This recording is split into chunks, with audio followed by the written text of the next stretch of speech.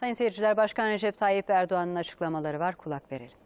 ile düzenlenen etkinliklerin ülkemize ve sektöre hayırlara vesile olmasını Allah'tan diliyorum. Bu sabah erken saatlerde Amerika'dan uzaya gönderilen 5A uydumuzun yolculuğunun başarılı geçmesini ve belirlenen tarihte görevine başlamasını temenni ediyorum. Böylece Türkiye'nin uzaydaki aktif uydu sayısını inşallah 7'ye çıkartmış oluyoruz. Bir yandan da ekranlarda uydumuzun fırlatılış görüntülerini izliyorsunuz. Halen uzayda bulunan uydularımızdan üçü haberleşme, üçü de gözlem amaçlı olarak faaliyet gösteriyor. Bunların dışında bilimsel amaçlı çalışmalar için fırlatılan uydularımızın bir kısmı yakıt ömürleri tükendiği için devre dışı kalmıştır. İstihbarat ve haberleşme amaçlı olarak tasarlanan TürkSat 5A'nın da aktif olmasıyla birlikte faal haberleşme uydularımızın sayısını dörde yükseltiyoruz. Bu uydumuzun kapsama alanında Avrupa, Orta Doğu, Kuzey Afrika, Güney Afrika, Orta Afrika, Akdeniz, Ege ve Karadeniz bulunuyor. Geniş bir hizmet alanına sahip bu uydumuzda aynı zamanda mevcut haberleşme uydularımızı da yedeklemiş oluyoruz. Türkiye uzayda yörünge hakkı bulunan 30 ülkeden biridir. Bu sabah uzaya fırlatılan TürkSat 5A uydumuzla Doğu yörüngesindeki uzay haklarımızı 30 yıl boyunca garanti altına alıyoruz. Yaklaşık 4 ay sonra yörüngesine yerleşecek olan uydumuzun ülkemize ve tüm dostlarımıza hayırlı hizmetlere vesile olacağına inanıyorum. Ülkemiz bakımından böylesine kritik öneme sahip TürkSat 5A uydusunun tasarımında, üretiminde ve uzaya gönderilmesinde emeği geçen herkesi tebrik ediyorum. Değerli misafirler, Türkiye'nin 1994 yılında başlayan uzaya uydu gönderme sürecinde bu yıl içinde fırlatılacak TürkSat 5B'nin ardından yeni bir seviyeye geçmeyi planlıyoruz. Daha önce yer gözlem uydumuz RASAT'ı kendimiz tasarlayıp üretmiş ve 2011 yılında Rusya'dan uzaya fırlatmıştık. Yine Türk Silahlı Kuvvetlerimizin ihtiyaçları için kendi tasarımımız olarak geliştirdiğimiz Göktürk 2 uydusunu da 2012'de Çin'den uzaya göndermiştik. Hava kuvvetlerimiz yanında pek çok kurumumuz için önemli veriler sağlayan Göktürk 1 uydusunu ise 2016'da Fransız Guyana'sından fırlatarak uzaydaki yerini almasını sağlamıştık. Amacımız 2022 yılında ülkemiz tarafından üretilen ilk haberleşme uydusu olan TürkSat 6A'yı uzaydaki yerine yerleştirmektir. Bu uydu çok gelişmiş teknolojik donanıma sahip önemli bir projedir.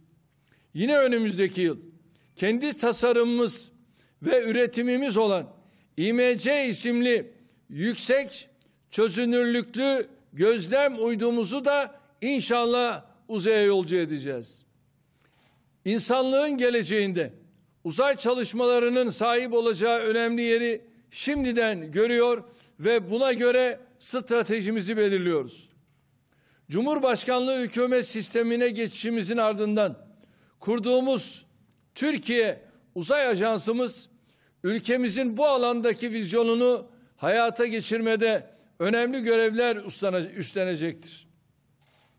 Bu ajansımızca hazırlanan 2021-2030 Milli Uzay Programımızı da yakın bir tarihte açıklayacak.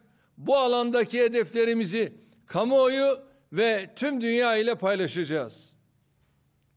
Önümüzdeki 10 yıl içerisinde ülkemize kazandıracağımız uyduları insan kaynağımıza ve uzay sanayine yönelik projelerimizi bu programda ortaya koymuş olacağız.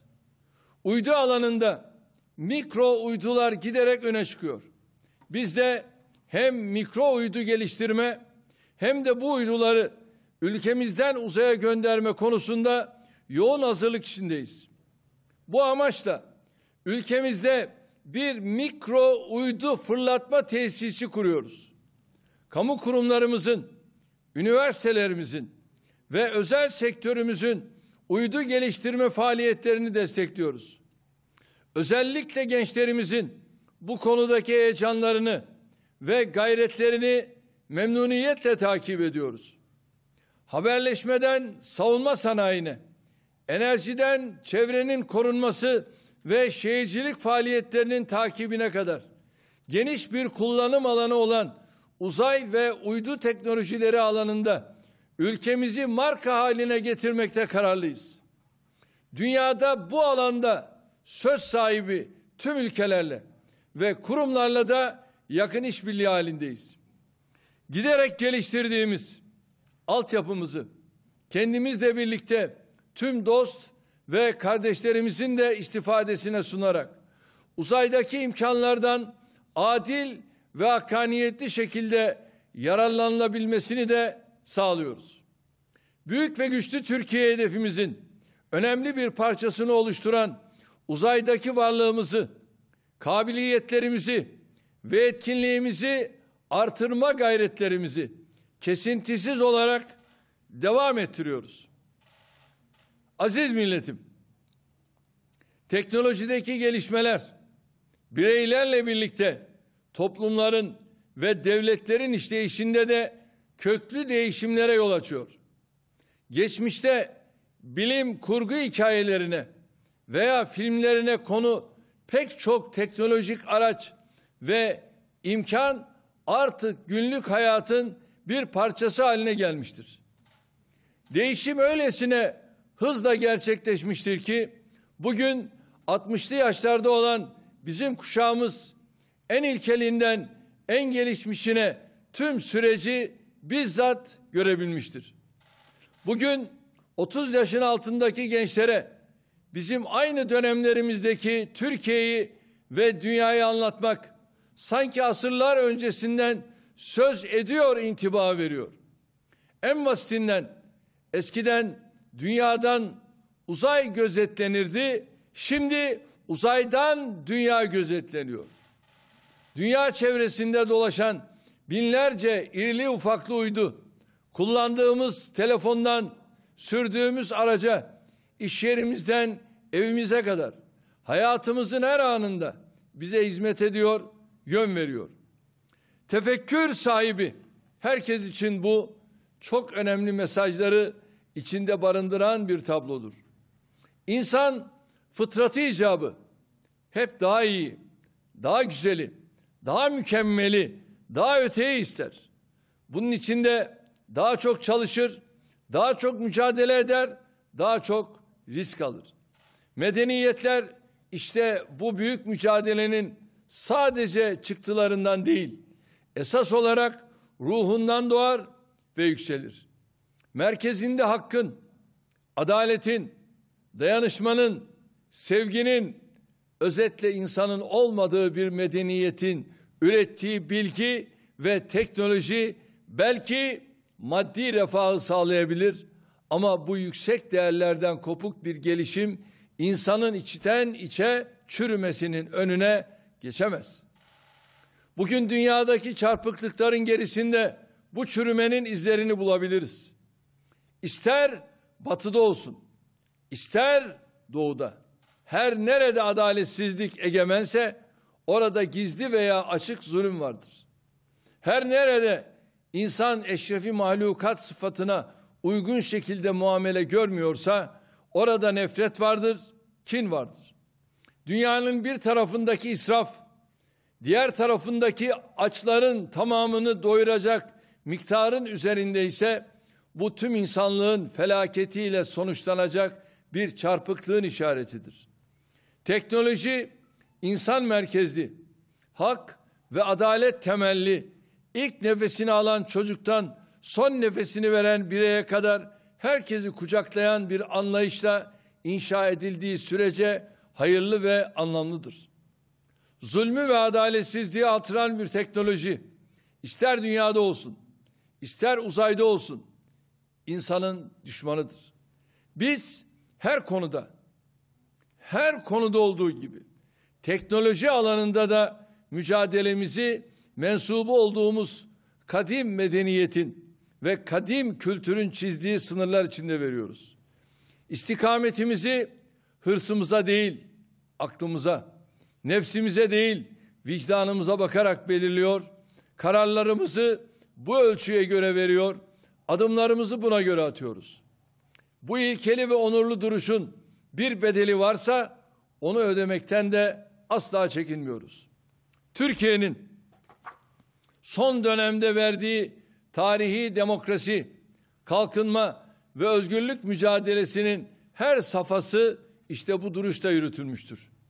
Milletimizin bizden ne pahasına olursa olsun, refah ne pahasına olursa olsun güç değil, medeniyetimize ve tarihimize yakışır bir gayret geldiğine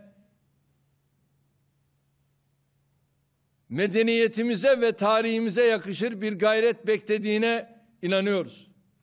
Ülkemizin önüne koyduğumuz 2023 hedeflerini bu anlayışla belirledik. Gençlerimize de aynı anlayışla 2053 vizyonumuzu emanet ediyoruz. Şayet 2053'te Türkiye her alanda söz sahibi bir güç olacaksa bunu diğer insanların omuzlarına basarak tepelerini çiğneyerek değil onlarla birlikte başaracaktır. Şayet 2053'te Türkiye uzayda hakim bir güç haline gelecekse bunu yerin ve göğün sahibinin emanetine hürmet idrakiyle yapacaktır.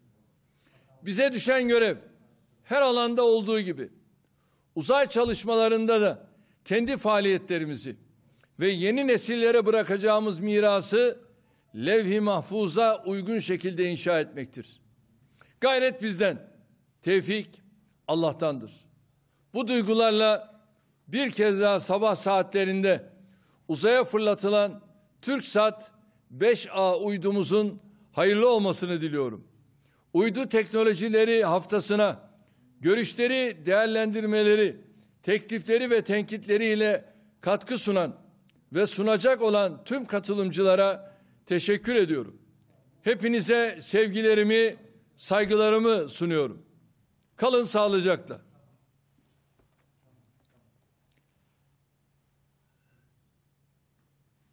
Evet Adil Bey, bizleri duyuyor musunuz? Sayın Cumhurbaşkanım.